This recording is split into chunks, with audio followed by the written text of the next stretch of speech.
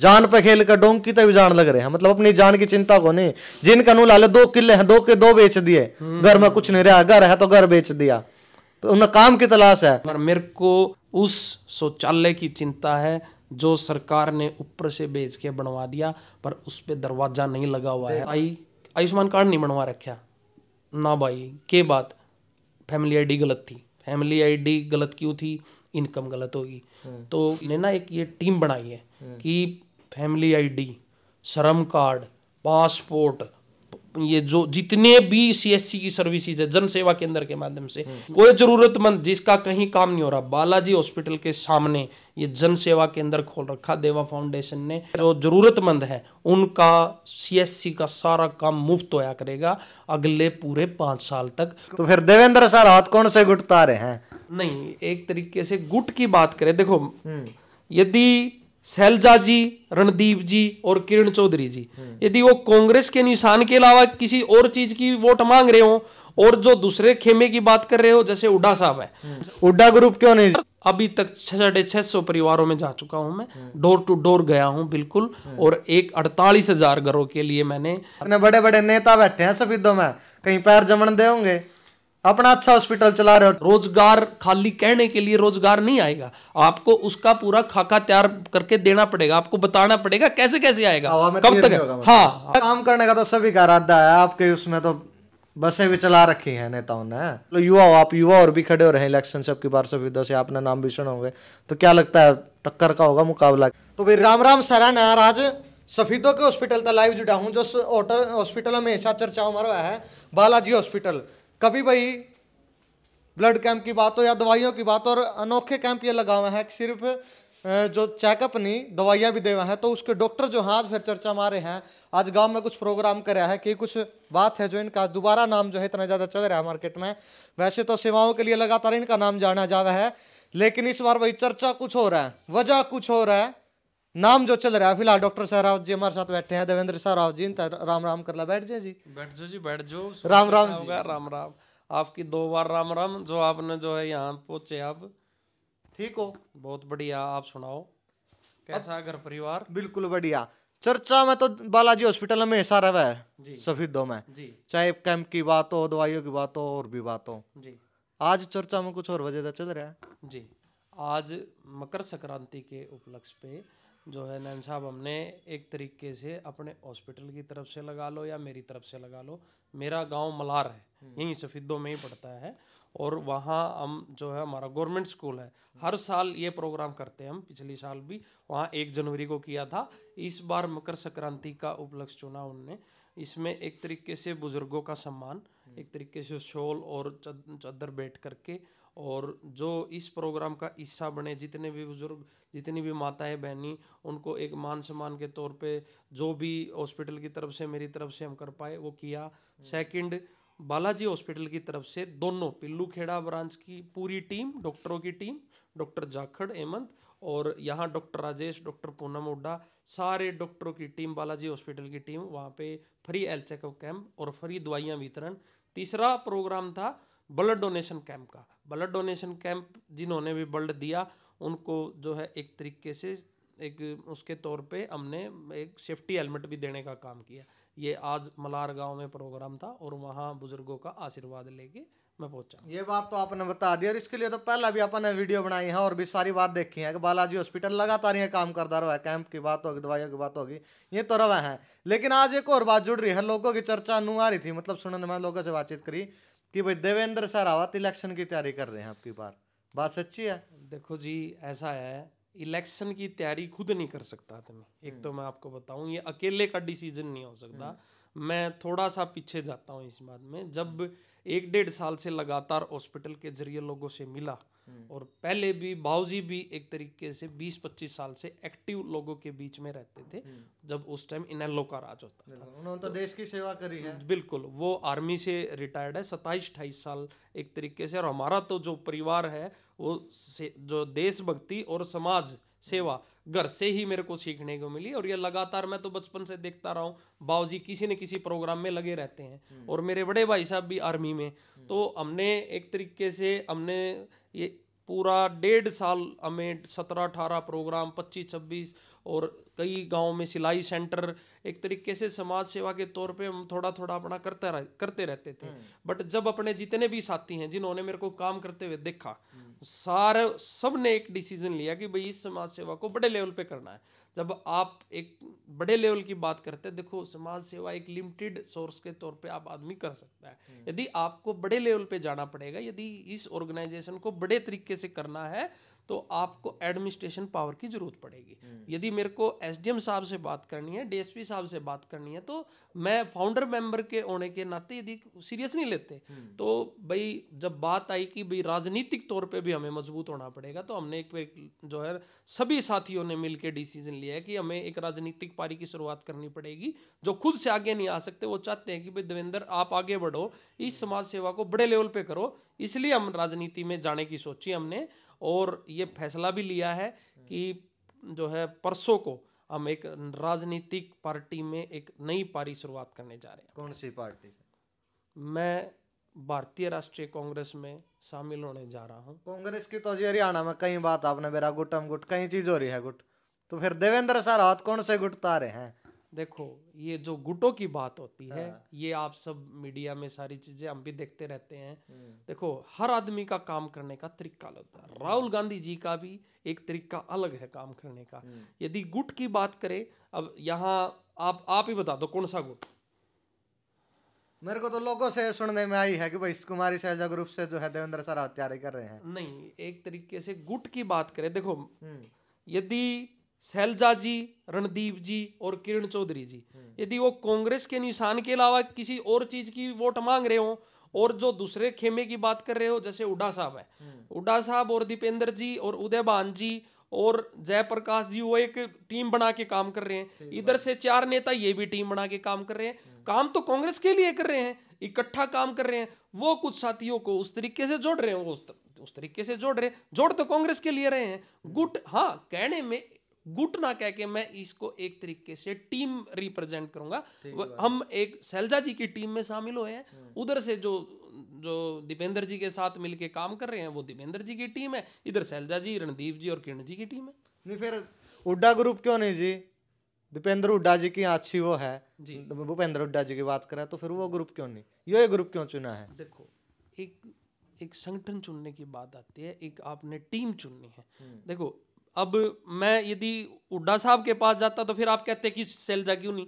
देखो एक टीम चुनने की बात आई हमने सैलजा जी में आस्था व्यक्त की और मैंने जो जो यहाँ समाज सेवा के जितने भी काम किए सफीदों में मैंने एक चीज़ देखी जैसे उड्डा साहब जिस समाज का जिस उसका नेतृत्व करते हैं वो अपने आप में निपुण है। बट एक तरीके से यदि अगड़े पिछड़े की बात करते हैं यदि कोई जो है गरीब आदमी का, और उस हिसाब से ये भी नहीं है कि उडा साहब नहीं उडा साहब ने अपने राज में नौ साल, दस साल जब काम किया, बहुत, कांग्रेस पार्टी का तो मोटिव ये है कि अंतिम पंक्ति में खड़े हुए व्यक्ति को आगे लेके आना। और गरीब आदमी की बात को जैसे राहुल जी ने पीछे अपने उसमें घोषणा पत्र में भी लिखा था कि भाई, हर परिवार को बहत्तर बहत्तर हज़ार रुपये हर साल आना और लेडीजों को भी, जिन जिन राज्यों में हमारी सरकार है, कांग्रेस पार्टी की, वहाँ गरीबों के लिए बहुत अच्छा काम करते हैं। तो जब शैलजा जी की बात आई, हमारे साथियों ने यह कहा, यदि कोई एक तरीके से जिस जिस ग्रुप से शैलजा जी काम कर रहे हैं, जिस विजन से काम कर रहे हैं, जिस संदेश को लेकर यात्रा निकाल रही हैं, वो एक तरीके से जो शैलजा जी, वो पिछड़े वर्ग की जो लड़ाई लड़ रही हैं उस पिछड़े वर्ग की लड़ाई में हम भी उनके साथ सहयोग के तौर पे पूरी अच्छे तरीके से यही कोशिश करें भाई गरीब आदमी सरकारी स्कूल में प्राइवेट हॉस्पिटलों में और सरकारी अस्पतालों में कौन जो कौन जा रहा है? सरकारियों का फ़ायदा सर्विसेज़ का कौन लेता है? गरीब आदमी लेता है। गरीब आदमी की लड़ाई यदि कोई एक तरीके से हमारी नज़र में और कोई गुट गुट वो कोई वाली बात नहीं है। टीम में टीम में काम करेंगे। मैं भी ज़्यादा गुट वगैरह में नहीं जाना चाहूँगा क्योंकि देखो रास्ता कोई भी हो लेकिन मंजिल अच्छी होनी चाहिए। सफीदों की जनता बाट देखने लग रही है। काम कौन करके दिखाओगा बढ़िया। देवेंद्र सरावत पे कुकर यकीन कर लें। अगर देवेंद्र सरावत बढ़िया काम करके दिखाओगा। हालाँकि पता है मैंने अभी कि बालाजी हॉस्पिटल हमेशा सफीदों में चर्चा हमारे यहाँ अच्छे काम करे हैं बालाजी हॉस्पिटल ने। तो फिर भी कुछ अलग इस बार कि सफीदों की जनता पर विश्वास करें। जी, ये मैं बताता हूँ आपको। देखो, हर आदमी का जिस जिस, जो भी नुमाइंदे बने सफेदों के पहले, पूर्व मंत्री जी की बात करें, पूर्व विधायक जी की बात करें, उनसे पहले पूर्व विधायक जी की बात करें और मौके के विधायक की बात करें, सब अपने अपने तरीके से काम करते हैं। सबका अपना अपना एक तरीका है।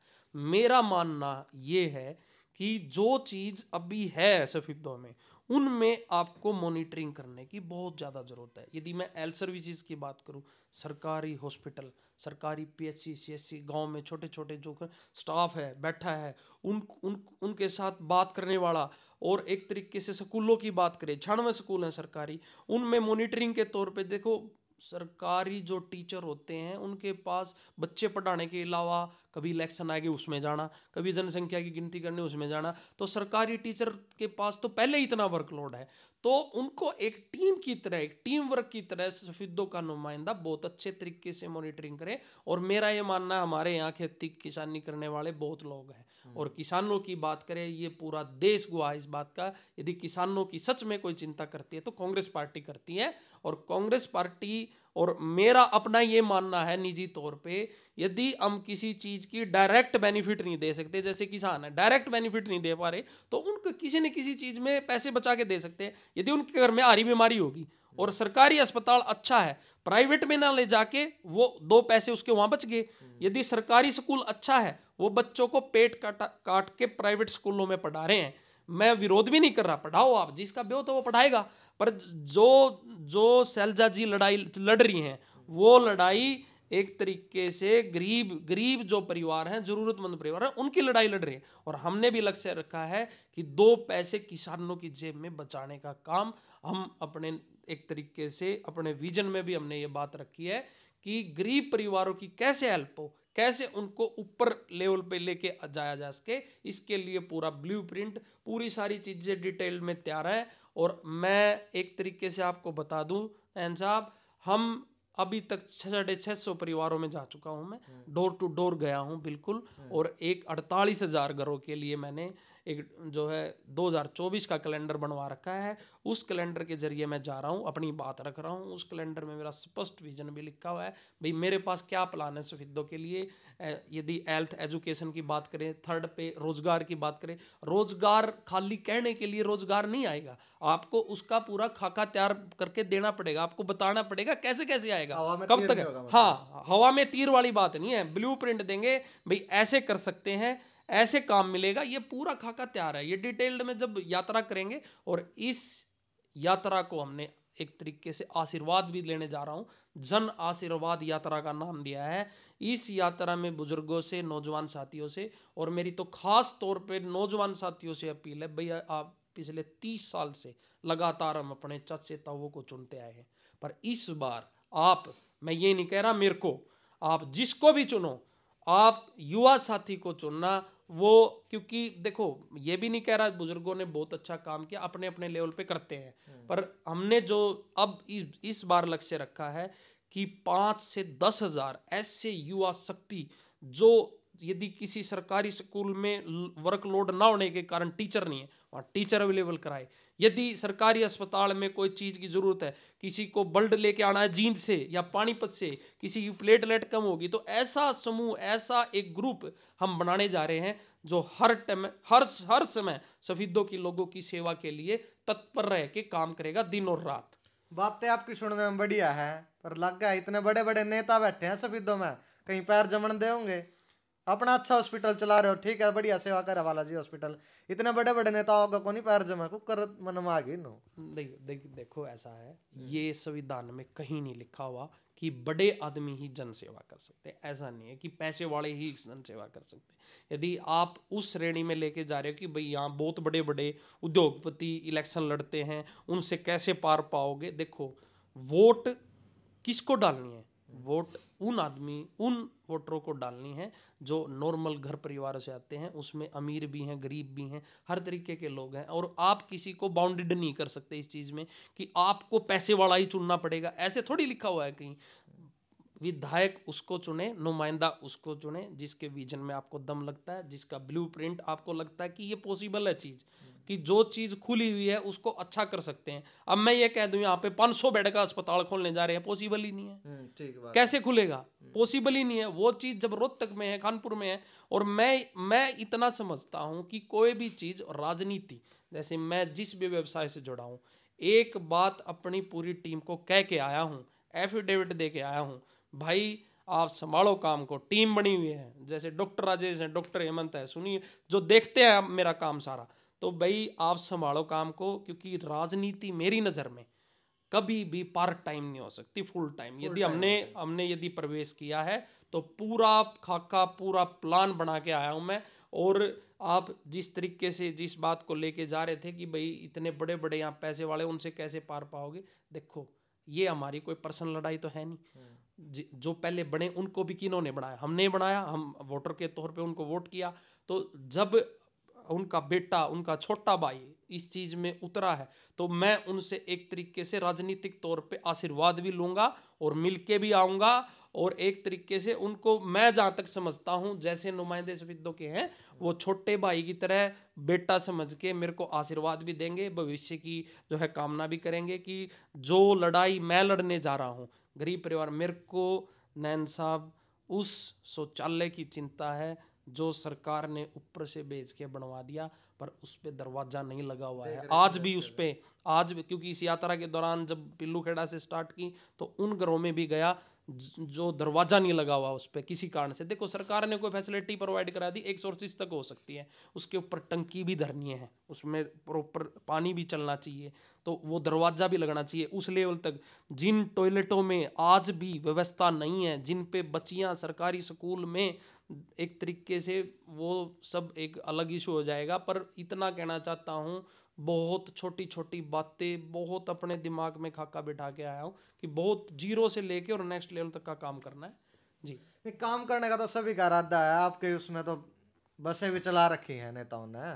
तो फिर आपसे अलग कैसे आप कैसे अलग हो गए? देखो यदि मैं वही कह रहा हूँ आपको राजनीति कभी टेम्परेरी नहीं हो सकती। हम्म। यदि आप समाज सेवा के ज़रिए राजनीति में प्रवेश किया तो आपने वही मैं स्टार्टिंग में कह रहा था कि समाज सेवा एक लेवल तक हो सकती है उसके बाद आपको राजनीति में आना ही पड़ेगा। और आना भी चाहिए स्वागत भी है। मैं ये कह रहा हूँ सभी युवा जितने भी साथी सविदों के मेरी वीडियो सुन रहे हैं जो भी कहीं के भी पूरे हरियाणा के सुन रहे हैं आपको तो पूरा हरियाणा सुनता है जो भी सुन रहे हैं भाई आप जब तक युवा जागृति नहीं आएगी राजनीति में तब तक अमूल चूल परिवर्तन उस हिसाब से नहीं होगा जैसे आप चाहते हो। भाई आपको दो चीज़ों पे बहुत ज़्यादा काम करने की ज़रूरत है। जब टेंथ और प्लस टू में जो बच्चा अच्छे मार्क्स लेगा उसका अच्छी यूनिवर्सिटी में नंबर पड़ेगा तो फिर वो अच्छी यूनिवर्सिटी से ग्रेजुएशन करके टेस्ट पढ़ेगा दो सौ रुपये में नौकरी लग जाएगा टेस्ट पाट के। ये ये नहीं लगेगा तो इंटरव्यू क्रैक करके कंपनी में लगेगा। कहीं ना कहीं ऐसे पर मेरी तरफ़ से ये है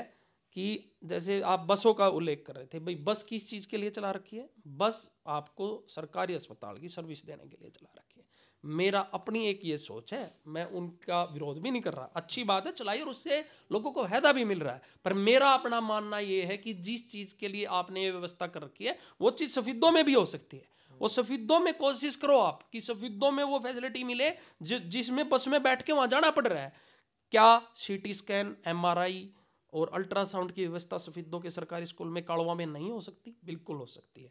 आपको वो चीज़ें करनी पड़ेंगी। खाली इस बात पे ये कोई मुख्यमंत्री मना थोड़ी करता है कि आपको ये काम नहीं करना। आप जो है दूसरी पार्टी के हो तो आपको ये काम नहीं करना। नहीं, ऐसा नहीं है। आपका विजन, आपका ब्लूप्रिंट आप में हौसला इतना मज़बूत होना चाहिए कि आप सफेदों के लोगों के जो है ऐसे छोटे छोटे काम जो उनको लगे कि ये जैसे हमारे घर का आदमी है, घर का बड़ा भाई है, चाचा है, ताऊ है, उनको ये लगना चाहिए जैसे घर में कोई काम स्टार्ट करते हैं। तो उनको लगना चाहिए कि ये हमारा घर का आदमी है। इसके साथ हम उस हिसाब से बात कर सकते हैं। एक नेता के तौर पर मैं तो ये कह रहा हूँ, ठीक है, मैं कुर्ता पजामा पहनता हूँ, पर आप मेरे को, मेरी हाथ जोड़ के रिक्वेस्ट भी है, नेता मत मानना। आप, मैं यदि काम करना चाहता हूँ यदि मेरा काम आपको पसंद आए तो मेरे को चुन लेना। ये अब तक जो भी मैंने अपने लेवल पे किया है, यदि आपको अच्छा लगे तो ऐसे आपको लगे कि मेरे को और बड़े लेवल पे करना चाहिए तो आप मेरे को चुनना या आप आशीर्वाद देना।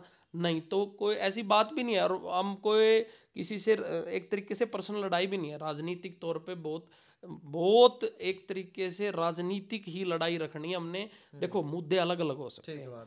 आइडियोलॉजी का फ़र्क होता है। बीजेपी की आइडियोलॉजी अलग है कांग्रेस की अलग है। हम्म। और गुटों की बात कर रहे हो मैं इसको एक टीम मानता हूँ गुट नहीं मानता। ठीक बात है। युवाओं की अभी आपने बात करी थी युवाओं का अपने बेरा है। हरियाणा तक कितने ज़्यादा युवा जो है जान पे खेल कर डोंकी तक भी जान लग रहे हैं। मतलब अपनी जान की चिंता को नहीं। जिनका नू लाले दो किले हैं दो के दो बेच दिए। घर में कुछ नहीं रहा घर है तो घर बेच दिया। तो उन्हें काम की तलाश है। उन युवाओं ने कैसे विश्वास दिला होगा देवेंद्र सरावत कि मैं उन युवाओं के लिए अच्छा काम करके दिखाऊँगा? क्योंकि युवा हो आप युवाओं की सम, जो वो है दुख आप समझ सकते हो। जी देखो हर चीज़ में एक समय लगता है। मेरा अपना ये मानना है यदि रोज़गार की सफीदों में बात करें आप अपने भाई पे एक विश्वास रखना। ऐसी ज़्यादा तो मैं कहता नहीं पर दो से तीन साल के बाद एक ऐसी व्यवस्था बना के देंगे कि भाई मेरा अपना ये मानना है कि उसमें मैं कामयाब होऊँगा नहीं होऊँगा। पर एक तरीके से जो चीज़ आप बाहर करते हो मान लो आप बाहर बीस हज़ार रुपये की नौकरी पाते हो खर्चा, वो सारी चीज़ें। एक एक ऐसी व्यवस्था ज़रूर करने का आपको सफेदों से बाहर जाने की ज़रूरत नहीं पड़ेगी। चाहे आप उस तरीके से, क्योंकि मैं मैं जिस भी समूह से जड़ा, वो रियल स्टेट डेवलपर एक तरीके से हम जो है यहाँ पे डेवलप करके उस रोज़गार के अवसर भी पैदा कर सकते हैं। और यदि जैसे अब यहाँ पे नेशनल हाईवे निकले हैं नेशनल हाईवे निकले हैं तो सीधी सी बात यह है, यहाँ इंडस्ट्री भी लग सकती है। पर नुमाइंदे को उस चीज़ के लिए ट्राई करनी पड़ेगी, कंपनियों से बात करनी पड़ेगी एमओयू कराने पड़े, उनकी सी करा के देनी पड़ेगी। ये सारी चीज़ें उस चीज़ का हिस्सा है, जब तक यहाँ का नुमाइंदा परमानेंट तौर पे राजनीति में नहीं आएगा टेम्परेरी पार्ट टाइम नहीं पूरा सुबह से लेके शाम तक पूरी एक तरीके से सफेदों के लोगों के लिए जिएगा वही आदमी सफेदों में अमूलचल परिवर्तन ला सकता है। उसमें मैं भी हो सकता हूँ दूसरा साथी भी हो सकता है कोई। बिल्कुल। देवेंद्र सहरावत से हमने बातचीत करी और लगातार बालाजी हॉस्पिटल का नाम चर्चा में भी रहा भाई। आपने देखा है कि अच्छे अच्छे काम जो बालाजी हॉस्पिटल करता रहा है। और एक अलग विजन लेकर इस बार देवेंद्र सरावत इलेक्शन में खड़े हुए हैं। कि मानो युवा चलो युवा हो आप युवा और भी खड़े हो रहे हैं इलेक्शन से आपकी बार सुविधा से आपने नाम भी सुना होंगे तो क्या लगता है टक्कर का होगा मुकाबला? कैसे क्या रहा होगा? बिल्कुल और मैं ये मानता हूँ और मैं तो ये रिक्वेस्ट भी कर रहा हूँ कि जो इस तीस साल से राजनीति कर रहे हैं सफेदों की आप अपने बच्चों को आप अपने युवा साथियों को उतारो इस बार क्योंकि देखो आपकी राजनीति पूरे सफेदों ने देख ली है। आप अपने बच्चों को उतारो देखो हेल्दी कंपटीशन होना चाहिए। हम, यहाँ आपस में कोई लड़ाई थोड़ी कर रहे हैं, पर राजनीतिक तौर पे सबका अपना अपना विजन होता है। मैं ये मानता हूँ, जो काम मैं कर रहा हूँ, मेरे को छोड़ के दूसरा करे, उसको छोड़ के दूसरा करे, जिसको भी सफेदों के लोग पसंद करेंगे। पर ये है, जी, जिसको एक बार चुन ले, उसके ऊपर अक होना चाहिए। आदमी आके बाजू पकड़ के ले जा, भाई, देवेंद्र तने नौका था वो कराया नहीं। ओ जगह ताऊ, ओ जगह ताई, ओ जगह भाई तो देखो हर हर काम करने का तरीका होता है, मेरे को, क्योंकि मैं जिस जिस इंसान के साथ मेरे को छः सात साल लगातार काम करने का मौका मिला, वो एक राजनीतिक परिवार और व्यवसायिक परिवार, मैंने वहाँ उनकी, उनको लोग सेवा करते हुए देखा है, गरीब के प्रति उनका दिल पसीजते हुए देखा है, वो चीज़ मैंने देखी है। और एक बात मैं कह देता हूँ आपको, जब राजनीति में आदमी आ जाता है तो फिर उसका जीवन राजनीतिक ही हो जाता है। एक तरीके से वो उसका परिवार पाँच पाँच लोगों का परिवार नहीं होता हम्म। फिर उसका परिवार ढाई लाख लोगों का परिवार है और एक बार चुनने तक ये लड़ाई हो सकती है कि आपको तीस हज़ार लोगों ने जो है पसंद किया आपको पैंतीस हज़ार लोगों ने पसंद किया या आपको चार हज़ार लोगों ने पसंद किया पर मेरा अपना ये मानना है जिन्होंने आपको पसंद नहीं किया और आप बन गए आपको जो है सफीदों का विधायक बनना पड़ेगा ना कि अपने कार्यकर्ताओं का विधायक। हाँ कार्यकर्ताओं के प्रति आपकी सद्भावना उनसे ज़्यादा ज़रूर हो सकती है पर कोई ऐसी चीज़ भी नहीं होनी चाहिए कि आपको उन्होंने वोट नहीं किया और उससे आप वैर भाव रखो। नहीं वो भी वो भी इस सफीदों का है और जिन्होंने आपको दिया है वो भी सफीदों का है। कोई राजनीतिक बहस और, और मेरी तो ये खास तौर पे अपील है क्योंकि जो भी मेरे चाचा, ताऊ जिन्होंने राजनीति की है यहाँ पे, जो भी बड़े भाई साहब, मैं यही हाथ जोड़ के कहना कब भी आप अपने मन में एक बात नहीं रखना कि देवेंद्र को एक तरीके से विरोध का काम नहीं, आप अपने तरीके से काम कर रहे हो, हमने अपने तरीके से करना है।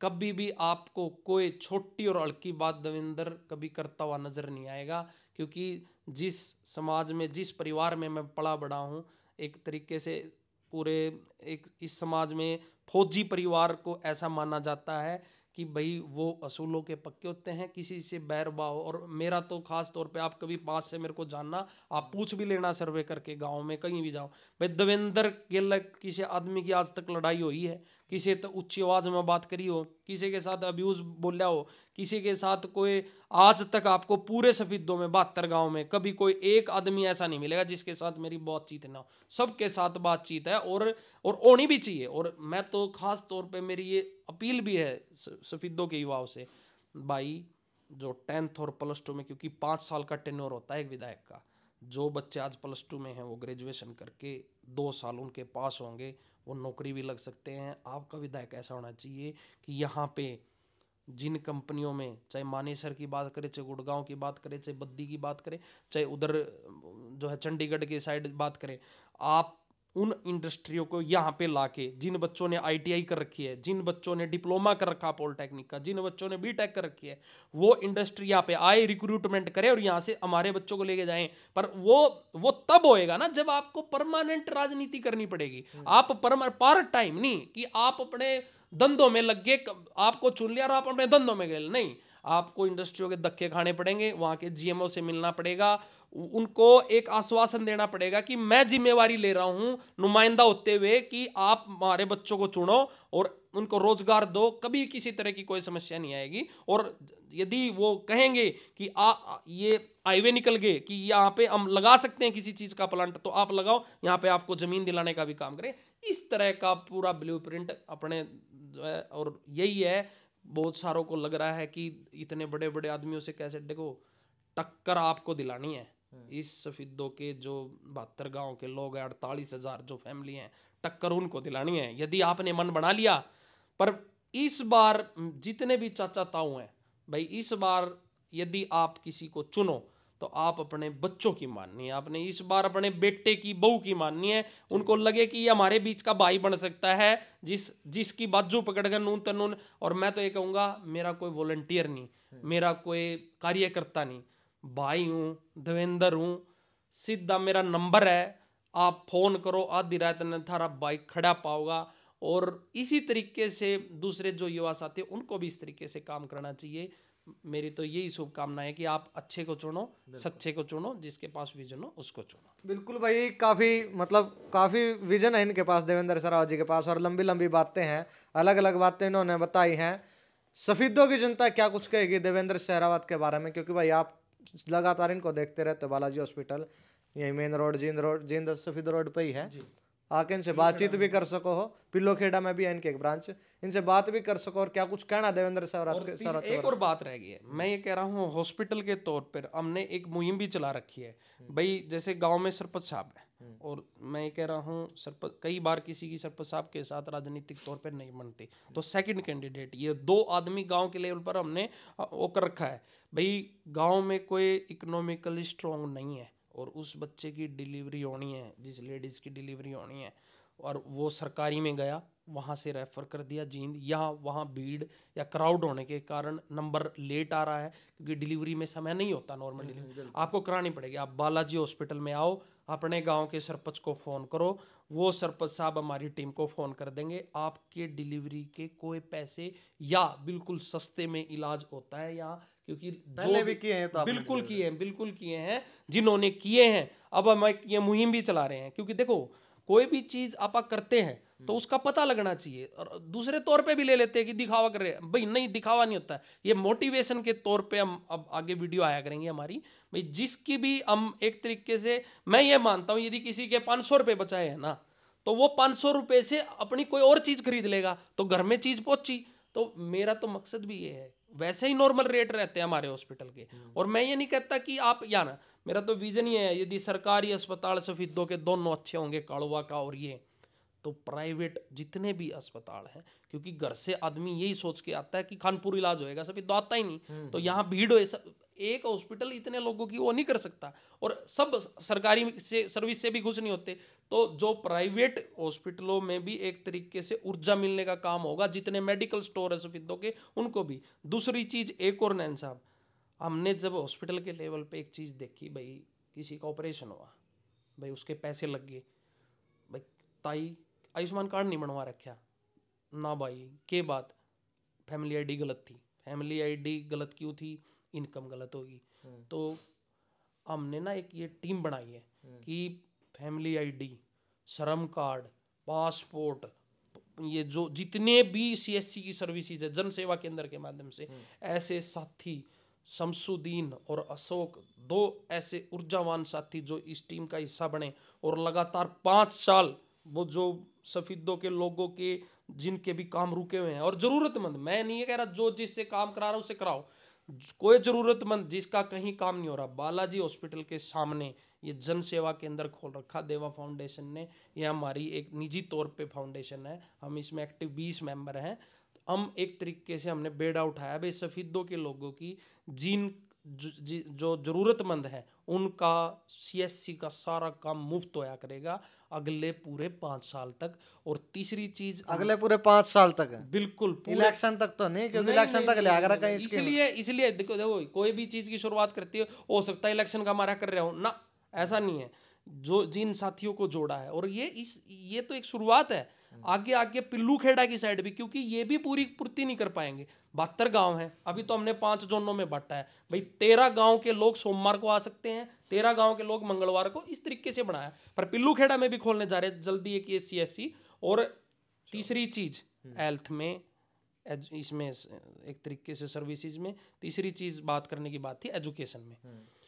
देवा फाउंडेशन ने सरकारी स्कूलों में पढ़ने वाले बच्चे जिनके माँ बाप उनको ट्यूशन का पैसा अफोर्ड नहीं कर सकते क्योंकि आपको भी पता है यदि किसी ने नॉन मेडिकल ले ली तो उसको फिजिक्स केमिस्ट्री मैथ पढ़नी है जिसने बायोलॉजी बायोलॉजी उसको बायोलॉजी पढ़नी है तो वो पहले सरकारी में पढ़ा रहे हैं सीधी सी बात है भाई वो उस हिसाब से काम नहीं करते सोर्सेज खर्चे बहुत हैं बहुत महँगाई है तो फाउंडेशन ने लक्ष्य बनाया है कि वो साढ़े तीन बजे छुट्टी होने के बाद सिनेमा मार्केट में जहाँ पे पहले गैलेक्सी सेंटर होता था उसी सेंटर में मैडम जी पढ़ाएँगी। और वो बिल्कुल हमारे साथ इस मुहिम के साथ जुड़ी हैं कि टेंथ और प्लस टू के बच्चों की ऐसी तैयारी कराओ कि प्राइवेट स्कूलों के बच्चों के जैसे उनके रिज़ल्ट आए।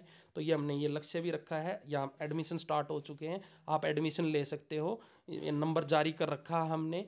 एक तरीके से ये सारी सारी जानकारी आपको बालाजी हॉस्पिटल के सामने नीचे सी एस से मिल जाएँगी। आप एडमिशन करा सकते हो अपना। और ये मार्च तक टेंथ प्लस टू के, उसके बाद B S C, B com, जिसको भी, जिस भी साथी को मैथ, साइंस कुछ भी पढ़ना है वहाँ जाके पढ़ सकता है और जो साथी वहाँ नहीं आ सकते वो ऑनलाइन भी देख सकते हैं इस क्लासेस को। ये सर्दी की छुट्टियों के बाद तुरंत स्टार्ट होने वाली है और ये ऑनलाइन रिकॉर्डेड ये सब कुछ रहेगा। हम्म। ये तीन सर्विसेज़ हम अपने तौर पे स्टार्ट कर रखे हमने। बिल्कुल बिल्कुल बिल्कुल भाई देखो बड़ी बात है इलेक्शन के बाद की जो बात हमें तो है लेकिन फ़िलहाल तीन सुविधाएँ एक तो चिकित्सा शिक्षा और सी हाँ। ये सुविधाएँ जो है बालाजी हॉस्पिटल के द्वारा भी आपने इनका जो है लाभ उठाने को मिलेगा, वो आप उठा भी सको फ़िलहाल देवेंद्र सहरावत के बारे में क्या कुछ कहना, कमेंट में ज़रूर बता दियो। राम राम सारा ने।